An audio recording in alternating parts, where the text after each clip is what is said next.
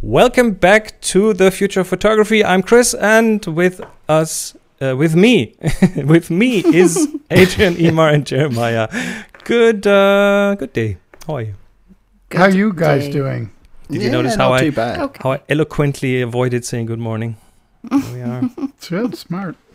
Oh, okie dokie. um, episode, let me check, 145. Time flies. 145. Uh, 10 years from now, we are back in our series of um, wild. The future of photography. The future, wi- or, or wild speculation about photography. And Yeah, love a bit of that. Yep. And uh, the one topic that um, we want to discuss today is presentation. Jeremiah, you had a few thoughts about that. So uh, take I, it away. I, I did. I probably have more thoughts than are safe to express, but uh, I will attempt to do so. um, you know, as as as we kind of move forward in time, we we often talk about our cameras. We talk about social media, processing imagery, and all of the artificial intelligence that are and can be useful in terms of capturing, making, and creating images. But at the end of the day, the most important thing is that people get to experience these images. And no matter how sophisticated or lack thereof in terms of our equipment, um, we as photographers, creators, artists, um, feel a need. Uh, I think I speak for all millions of us uh, to actually uh, let our work um, infiltrate the cultural um, zeitgeist of the world. And, and we do this in different ways. The more traditional ways have been paper, um, paper or metal. Th- those uh, traditionally ha- have been the way that uh, photographers have presented their work. Um, and they're often framed, uh, they're often matted and behind glass. Now we see them. Um, in Daguerre's time, the actual object of a daguerreotype was um, closer to jewelry or memento or safekeep. Um, that uh, that was uh, an object as much as it was uh, an image. Uh, but as we look forward, we see um, spectacular um, advances in ways that uh, photography uh, can be presented and shown and how that will affect uh, not only uh, the image response, but also uh, architecture, um, interior and exterior design. Um, how we are able to both experience books and create books um, and uh, fashion as well. So um, I'll be touching on some of these, hopefully, with um, with a little bit of insight. Uh, one of the first things I wanted to discuss was the um, advancement in what we call micro LED panels. Um, these are light panels. They're generally manufactured, say, one or two meters square, actually feet That's square, big. so maybe one meter.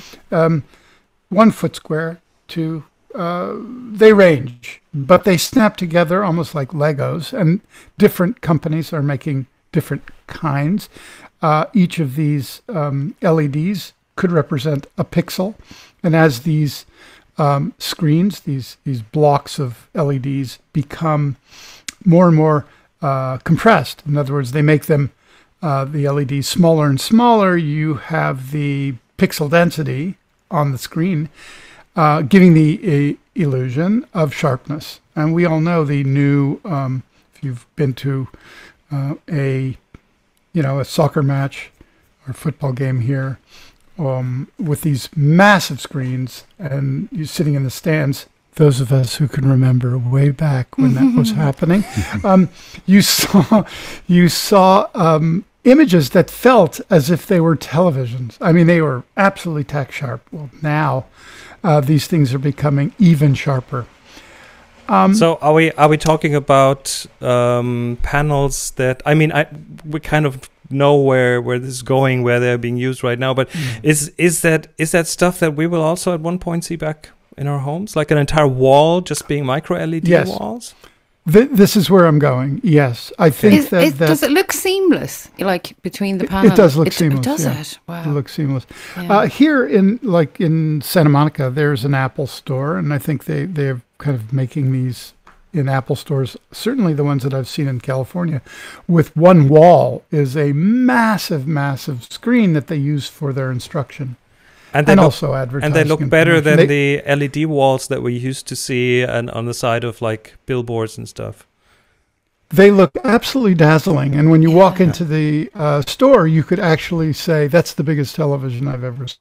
Yeah. Only when you get very, very close, and by close I mean you know less than a meter, uh, that you can start to see the actual LEDs and how they're made. But as soon as you step out, um, obviously the brain wants to converge them, and and it does work uh, very well. But we are going to see um, elements interior once they get that sharp um, so that we can have an entire wall that is a architectural element uh, that will be a fixed or uh, or changeable image and these things can be changed from our devices our ios devices our android devices our computers um, that's going to be a very very different experience than looking at a, a photograph in one's hand or even framed and matted on a wall.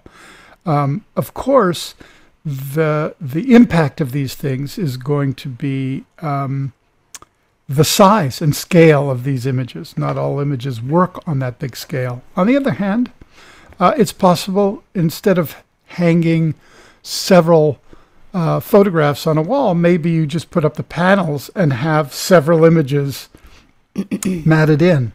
I have a Samsung television uh, in my home that has a wood frame, and uh, there is a uh, an app within the television so that when you are not actually watching television, um, for those of us who do watch television, no names mentioned here, um, that that I can actually by subscribing. It's very very cheap. It's like three dollars a month um, to various galleries all around the world, um, and I can pull beautiful HD or you know 4K representations of images, paintings, drawings on the screen, which is non-glossy, and actually uh, have them matted. And I've had people come in to my living room and go, "Oh my God, that's Chagall! It looks so beautiful," because you can actually see the paper quality on oh, it. That is amazing. And yet, it's a television. Doesn't look like a television when it's Oh, off. wow. It looks like a Mm. framed image, and just so that that's just a hint of what's coming on these LEDs. I do like the, other- the idea of that, Jeremiah. Um, did you know that the, gr- the Google Chromecast kind of does that as well? And I do have one of those, even though I don't watch TV because I like to cast a, a movie or whatever. And I, I have actually got um, taken away just watching the kind of Google Earth images, and you can select what you want to see, and it just rotates every minute, and it's mesmerizing, absolutely gorgeous. It's What like do you- being in a dentist's office. But what effect do you think that that kind of thing is going to have on the cinema? I'd be worried. No, um, No? I, I, I, I don't think so. First of all, you know, cinema, we'll call it cinema, TV, storytelling, Mm. small, large, long, short. They're really about characters uh, and story, and, and how one presents that is almost, um, I think, irrelevant. so A- a- pro- a projection story with- might go away and will might be replaced by these kind of screens. yeah. without The, without I, I kind of mean the experience of going to the cinema.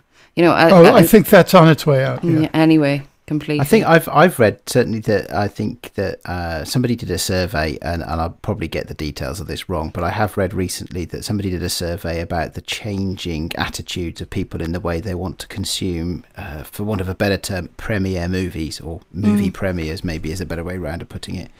And I think Mhm. people are now starting to say because the in-home technology is so good and because of the constraints of going to a movie theater right now and and how that uh, that they actually would prefer to watch movie premieres at home uh, rather than go out uh, and enjoy speak that for with other myself. people.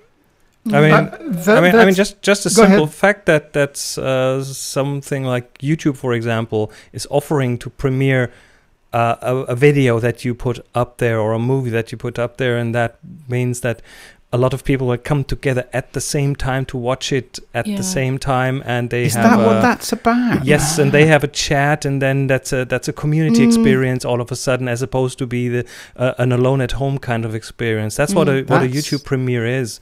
That's Um, interesting because Mm. I've seen a few things come up and say premiere and it has Yes. a time and a date. Mm, it's like like a live stream has a time and a date when it will Yeah. go live. And these are Um, pre-produced didn't- uh, things, pre-recorded Things, things, that are then premiered, and usually the people who made it, who are in it, uh, the the the stars in quotes, those are also present in the chat, and so you have this. Mm.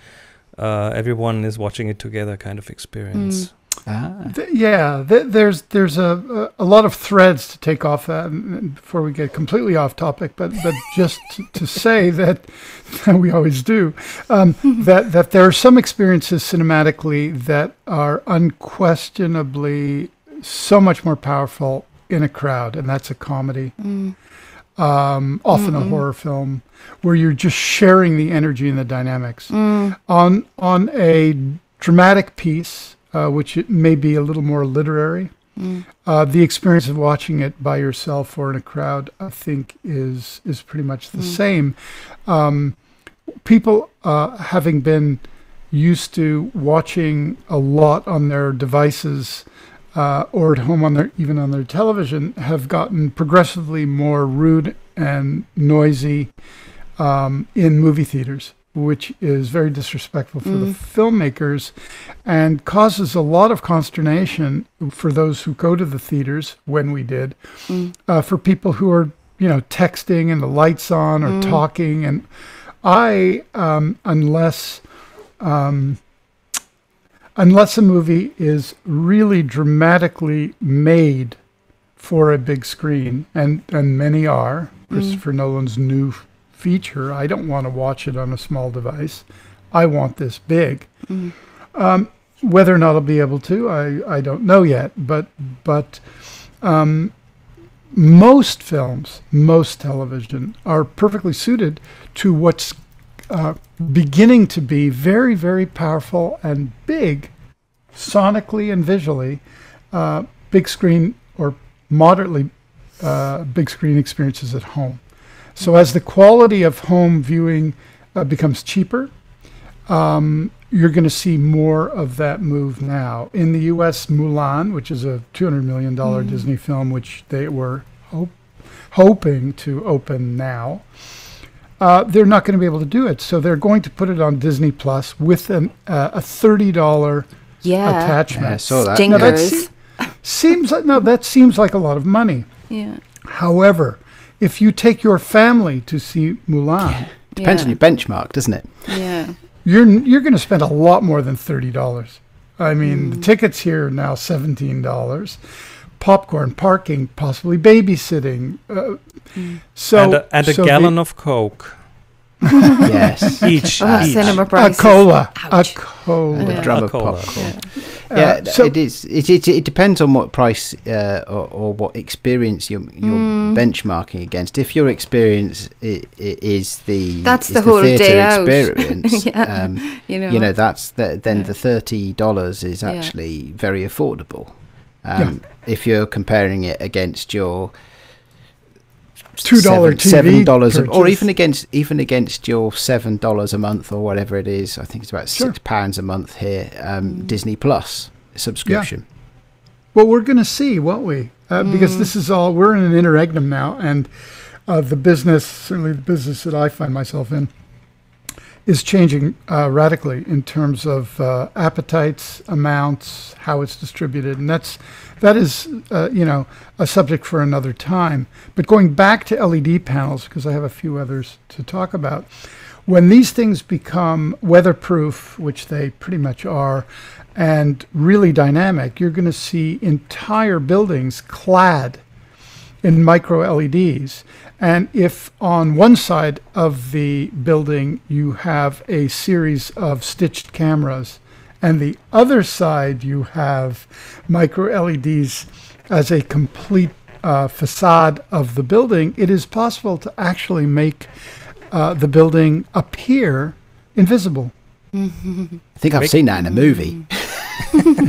May- or, Didn't or James Bond? Didn't James Bond have an invisible car about ten years ago, mate, on exactly the uh, exactly that premise? I think. I'm sure. Well, it makes sense. Did Wonder Woman have an No, it invisible doesn't. airplane? Hang on, no, that really doesn't. It does not make sense that there are invisible cars. That is the worst. Anything thing. in the Bond world It's the worst possible thing for a car to be is invisible.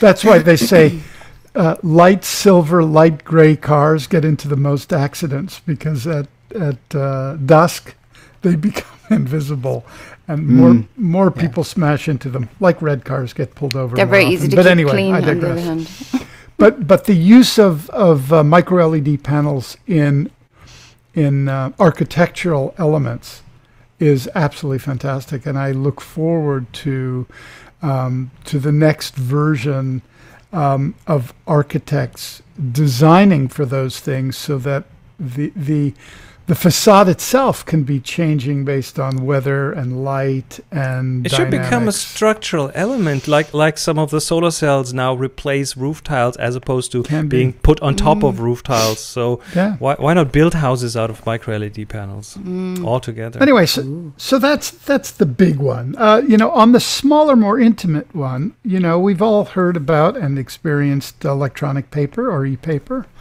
Um, e-paper is not what I would consider ready for prime time in terms of image making. It's certainly good and sharp enough for reading, but very soon.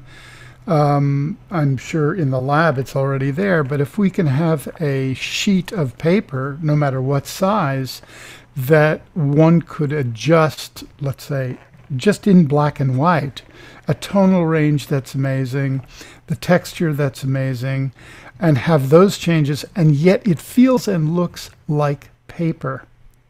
That will be a real uh, advance. I can't imagine that that's not coming up the pike I'm because I'm looking forward to this one. This is one of the ones that excites me, especially Yeah. seeing as they're they're now starting to bring out coloured e-paper.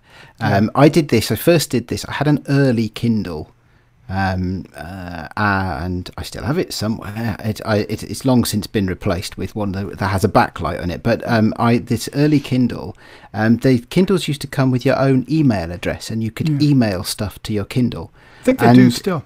if you emailed uh, a JPEG file, for example, to your Kindle, it would appear in your reading list and you could view images on it. As, Now, a, as a very it's not- coarse, coarsely rendered, It was uh, really bad. pixelated it's- black and it's- white Do image. you know what? It is. It, it, I don't know. There's something days, about it for me, though. It may not be. The, it may not be the the sharpest, most dynamic range image in the world, um, but there's something about it that felt a bit different. And you could easily, and for me anyway, I, have been I've been hoping for uh, e- e-paper to, to, to get color and to get you know better resolution and what uh, for for ten years probably nearly. Um, so I'm really looking forward to this. And occasionally I still email my my Kindle a, a, a JPEG.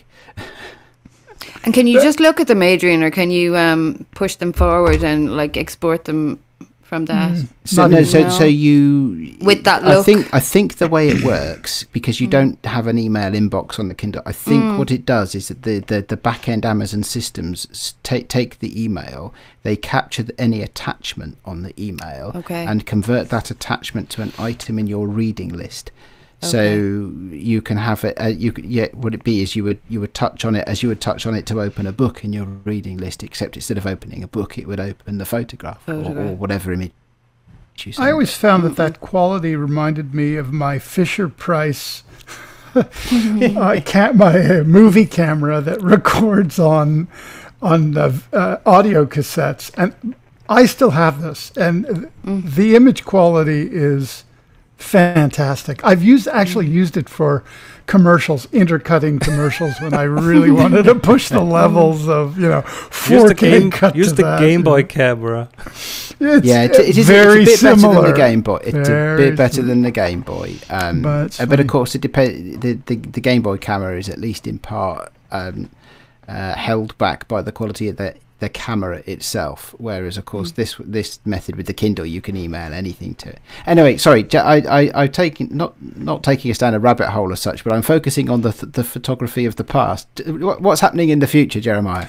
Okay, in the future. So we, we talked about e-paper here. Um, I think traditional printing, which is uh, let's call it. Um, a combination of new dyes and traditional papers and new printers with micro print heads and rips that create uh, some of the most dynamic, subtle color shifts in tone and color are coming down. And that, that's not 10 years away. That's probably five years away from, from a, a print on paper with, let's say, we're printing color, and instead of 12 inks, there's 24 inks. Of course, you know how badly these print manufacturers want to get there because if they can sell you 12 cartridges of ink, imagine if they can sell you 24 of them. Now, obviously, it's not going to be for the home uh, hobbyist, but when you're making really beautiful, um, subtle, and, and, and you know, we're always complaining about the difference between, oh, it looks so good on screen and it looks so bad on, on in print, where you can have print actually taking a different tone. It'll always be a little different, but imagine um, the possibilities of significant shifts up in quality of, of inks on traditional papers, both in terms of color fast and, and what will remain. So I think that's coming up um, virtual holographic screens, uh, holography, which is something that I've been in, uh, early on in, in my in my photographic life. I think we're going to start to see hol- holographic images that uh, are no longer gimmicks. When you say virtual virtual holographic images, you're not talking AR. I'm not talking AR. I'm talking okay. about, for example, uh, we open a book and you could have a three-dimensional. And Princess Leia uh, comes out, yeah. Yes, uh, effectively, but very, very um, good dynamic range, very sharp, and that's all a question of how the quote projection works with uh, light hitting a screen, whether mm. it's a separate page or not. But but uh, holographic processes are getting more and more sophisticated, so that that kind of AI projection of of imagery or subject could be very very interesting. And and and we could see that instead of having an image of of uh, fruit in a basket um, and the kind of um, dead hair hanging the, the classical still life mm-hmm. uh, we may uh, walk into somebody's house and actually see it on the table perfectly mm. rendered uh, uh, perfectly uh, visible, but we could pass our hands through it. And I, I think that's coming. People are working on that. Um, but can I can I ask a technical question? What is the medium in, on which it is projecting? Uh, it's not really projecting; it's reflecting. Um, actually, you don't. You know, there are, there have been projected holograms, but holograms are are, are a reflection. And, and hologra- so hologram today is like a like a like an umbrella term for a whole bunch of different technologies, right? Yeah. Uh, originally, um, when I was uh, you know in in my youth and in Canada, where where you could kind of like Chris knows. You can you can get the government to give you all kinds of money for artistic endeavors. Um, uh, me and two of my friends, we we we we got the government to buy us a you know hundred thousand dollar red laser. I mean, we were broke. We were, I was living in a cold water studio, and we had this like incredible laser, and we got a stainless steel vibration-free table that must have been eight feet by four feet by six inches deep. I mean, the thing weighed tons uh, and mounted the lasers, and we would coat our own uh, emulsion on glass, and we would use a beam splitter, and that beam splitter would shine some light on the subject, which would be in, nothing moving; it would have to be still, and uh, and the plate, and we experimented with um, exposure times development. Once you developed it and shone that laser onto that plate, the object would appear just as you saw it and some of our work went to the Museum of Modern Art and blah blah blah. It's all faded now because the, here we were making our own, uh, our own. But moving forward, um, holography, I think, or that kind of virtual projection, I think we're going to see that with when the kind of user-friendly glasses uh, start to start to come out, and people uh, will continue to make art that you can see uh, with um, augmented reality. So I think that augmented reality is going to be a, a part of the process of kind of the future of photography. Um, I'm going to race through so I don't kind of use up mm-hmm. too much time here. Um, new lenticulars. Um, lenticular imagery is something that is still, um, I think, associated with bad uh, postcards. Yes.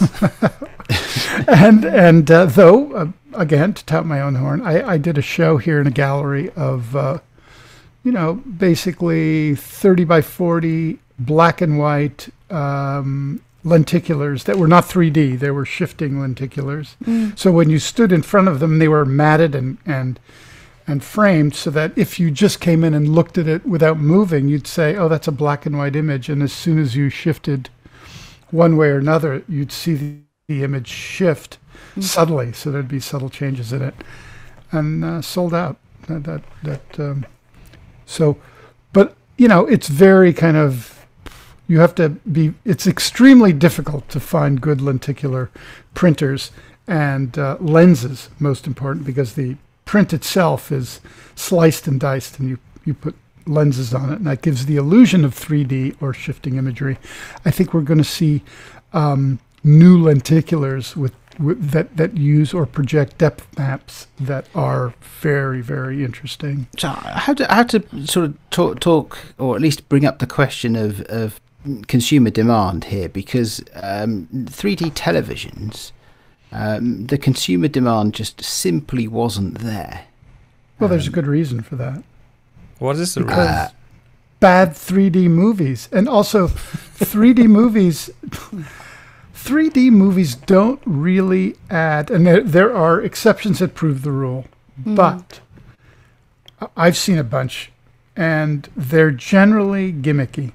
They are mm. distractions mm. from the actual story and character. We are so used to seeing imagery in a flat field that that we don't even recognize that we are watching an abstraction of a story and the closer we kind of fake that it's real i think our brain is always trying to figure out what's the trick. We know it's not real, and I think we're less compelled to fall into the story. Mm. So is that is that uh, an equivalent of the uncanny valley effect then, in some ways?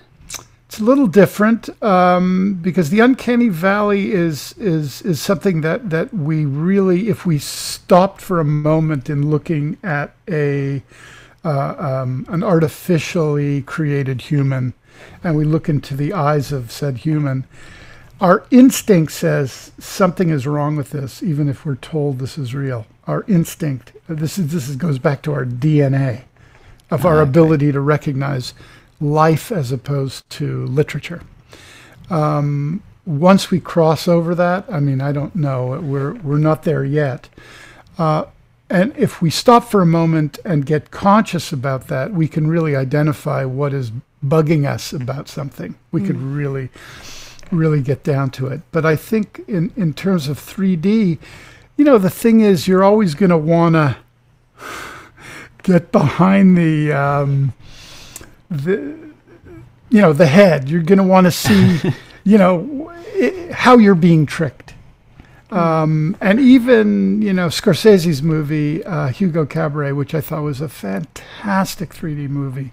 It used 3D in such a remarkable way, but the entire story was about illusion and reality and all the rest of it. So I think it it, it identified something very very specific. There's another thing that we often don't talk about, which is uh, ocular fatigue because remember, when we're watching a 3D movie, our eyes are adjusting constantly, mm. um, and and that uh, creates some fatigue, and that fatigue is also dissociative from our engagement. So, anyway. another. It is interesting because of all these these these technologies that that you're talking about here through through the, the discussion today, the ones that are interesting to me are the ones where there is uh, a maturity of a digital technology that better resembles something traditional like a piece mm. of paper. Mm-hmm. Now, I don't know why. I personally, I mean, this is a very personal thing, but uh, you know, I, I'm, you know, I, I can imagine that something that that looks holographic, I will look at for five minutes and go, yeah, fine. Whereas something that you know it is let, let's say it's it's a next generation or next next next generation electronic paper that is almost indistinguishable from the real thing that can mm. then change your images over time that to me is is very compelling. Um, the the more natural, the more the, the less digital it looks, mm. the more compelling it is to me. So yes, but but I can I can challenge back and saying using the example of of the a classical still life that responds to the ray tracing or the light within your environment that looks absolutely real and that is a absolutely beautiful sculptural, say, work of art that is using photographic processes to uh, trick you or, or, or uh, create the, you know, complete the illusion, when the subject aligns with the technology in a perfect way in your environment, you're going to change your mind. I think, that I, happens, I, I think oh. we're agreeing because I think mm. that's the the thing is what you're trying to do with that when you're when you it'll look natural. Yeah and that's uh, and that's I think is is where I'm going with it. Maybe I need to mod, uh, qualify or modify what I said a moment ago, which is that yeah, maybe maybe I should say looks natural rather than looks traditional. Um, you know, so that you know, if you if you've got a picture hanging on a wall, it looks like a picture hanging on a wall, not like a a, a phone screen or an iPad hanging on a wall or something. well, know, can just, I? I'll challenge you back, and I'll say, going back to our first micro LED uh, example, if you were looking at a building, a, a very, very tall building, um, let's say 50, 60 story building, and you were looking at it from, you know, a block or two away, and that building felt or looked like it was built on massive Roman columns and had stonework and articulated fenestration, etc. And you went, wow, that is kind of, you know, You've just described Caesar's palace. 50, 50 stories high. just, you know, uh, you would go, that's amazing until you got close to it. But the next day, you, it would look like a, you know, Russian spaceship. You know what I mean? Like So that's fun. It's, it's fun. And having worked in the city of London, where there are many tall towers, many more now yeah. than there, there, there were even 10, 15 years ago, um, you know that that that's a bit of fun. Yes, definitely. Mm. Um, uh, it's yeah. Well, I, well, I guess I guess let's see. I, I, I suspect that the I suspect that the architects of those buildings would probably you know m- might mourn the loss of their their purity Maybe. of vision, perhaps. Unless they were involved in designing the imagery around so, it. Um, so let me one more something. example. One more example. Okay, one, one, one more, and then I have a question. And then, then I throw it to the ground. um, I think, and this this is a little closer to us in terms of the future. I think book printing on demand, which is a process right now, uh, but I think that that is going to be uh, because I love traditional books. I like books on paper. I like that experience. I think the ability of having super high quality presses that are inexpensive, that have all kinds of, of uh, image extrapolation techniques that are able to emulate what you want very quickly and distribute this in however you want uh, globally is going to be right around the corner. So I think that's also in the near future. Okay.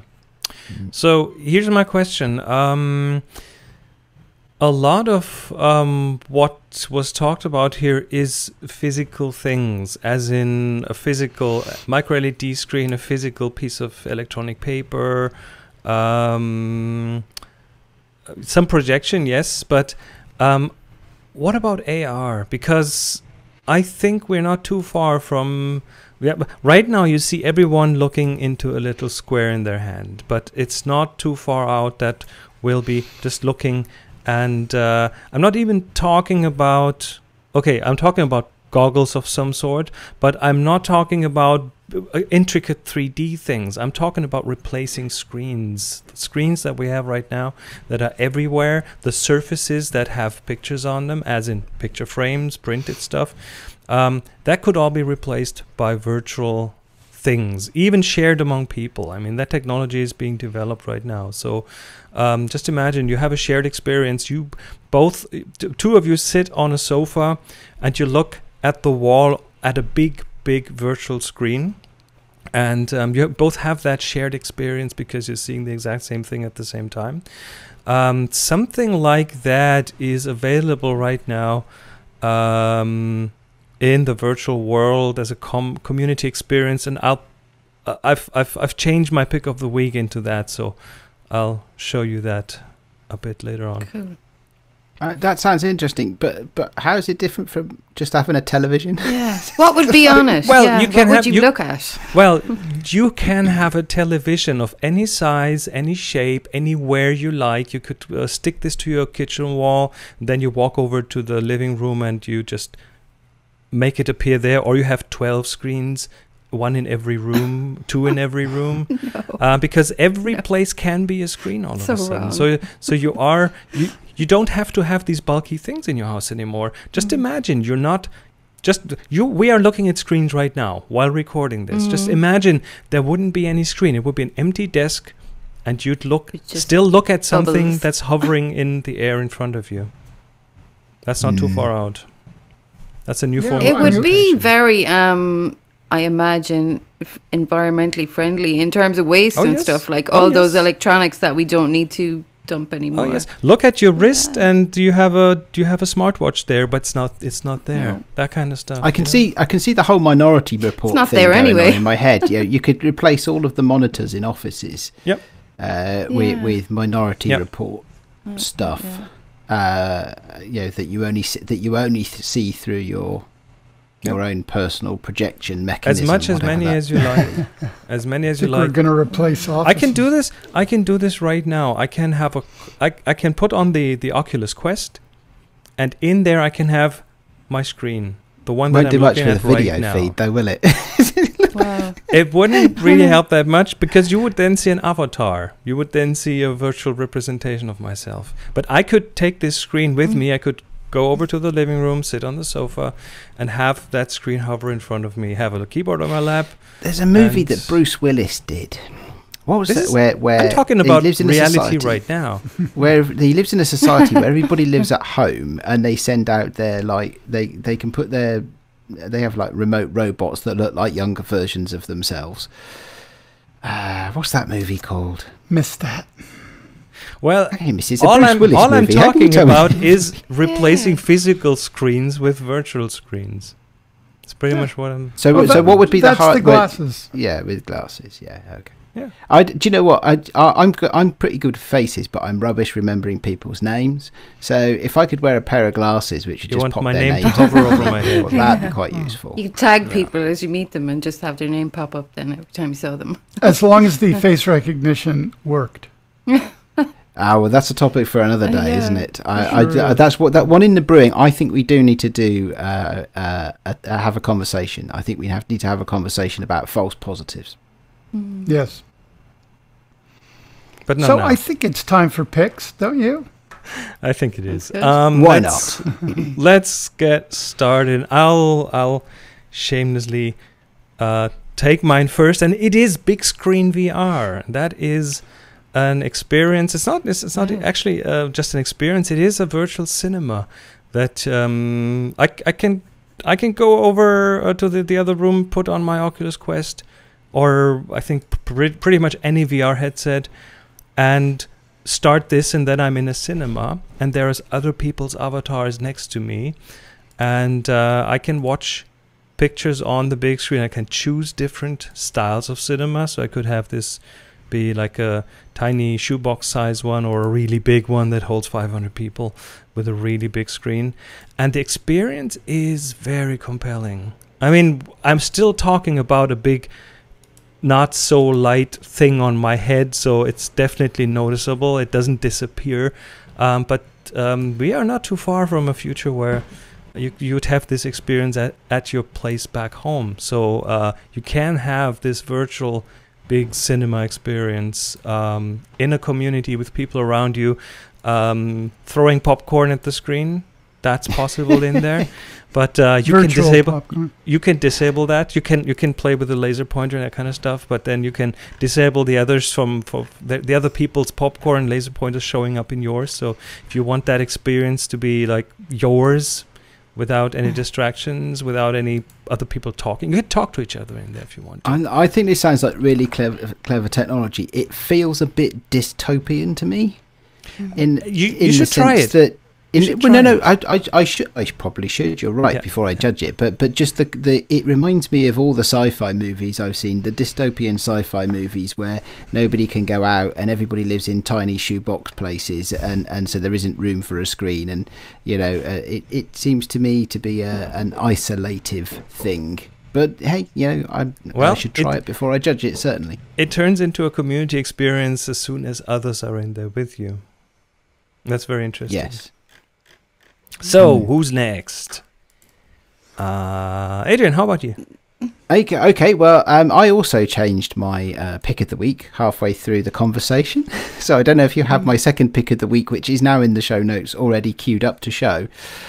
Um, but I was thinking about presentation. Um, and I recalled that uh, very recently uh, This was my mm, yes that one yes very recently it was my wedding anniversary and so I ordered as a little present for my wife um, some photographs of our life together printed on marshmallows. Oh my God, this is That good. is This crazy. is really good. so you should check out this company. I will tell you then. I will say their name. They're called Boomf, and um, they they do they do uh, only a few products actually, but they're all really good fun. They're all about presentation of imagery. Um, So, so little uh, square marshmallows that uh, that photos are printed on. Am the- I yes. getting this right? little square uh, yes and properly edible um so I'd, uh you, you can actually eat them i have eaten some and i'm still here to tell the tale so they're definitely edible um check out their other products as well in terms of presentation Uh, um one one i particularly like is one that gets delivered as, as a fairly flat thing and it says pull pull here and you pull the tab and it explodes with confetti and then there's a cube with your photographs a cardboard cube with your photographs printed on the outside of it and a message and, and stuff like that. Um it's yeah it's it's good fun it's it's a good fun company good fun products Crazy. Anything with marshmallows, gotta be yeah Okay, Jeremiah, what is? Well, yeah, I have. Uh, you know, uh, one of mine is called the. It's it's the Atmoph store, which is. It's really selling windows to people who have none, and uh, that's what it is. That's how they're marketing. There are also people who live in dark dwellings or in the basement. Basically, it is a screen. Um, I guess you'd call it a screensaver for your wall. Digital So- trompe l'oeil. Yes. so there's your window. Uh, I guess you'd need a fan or something to create a little breeze. But um, I'm not sure if this is sad or, or, or good, but I thought this is a very uh, unusual way to present photography. It just looks like a monitor to me. But anyway, there you I go. imagine if you're That- living that in a looks like house a- with no windows. It looks like one. load. It looks like a repurpose of uh, of Television. these, of these of Right. these digital image frames, these digital digital picture frames that were Yeah. Exactly. all the rage That are- several years ago. and they're marketing it as a window anyway. Yes. So I thought that was uh, just, I don't know why I chose Got it, no but I thought it was it? indicated. that just But the reminds other me of the first uh, that reminds me of total recall Yeah. the arnold Okay. schwarzenegger Okay, version Adrian, The real, the Adrian, real what's- one though. The re- What's with your the- dystopian mindset today? I just I- so so it is interesting, isn't it? But it genuinely these the I'm finding these things most of them quite disturbing. I don't know why. uh-huh. Okay, Eimear, what's your pick of the week? Uh, my pick of the week is now, according to the the show notes, it's my profile on Flickr, but it's not really my profile on Flickr. So if you just if you click the first photo, um, I'm using the TFOP now hashtag. The butterfly. Just, uh, yeah, but if you look at my tags that are on that photo, you'll find um, that TFOP now is one of them, just after the title. Yeah. So if you click on the TFOP now, that's what I really want to draw attention to. But I didn't know how to. Um, I didn't know how to share that Ah. directly. So I just I'm doing this picture of the day. So I'm trying to do a three six six. So they're all hashtagged with TFOP now. And I was looking at it there, and I'm kind of happy with how it's looking. So uh, there's a lot in there. It looks like I'm not doing anything or taking any photos anywhere, but actually I am, and they're all in here. Awesome. and that is an If anybody wants to invitation go and have to anyone who's listening to participate in that as well.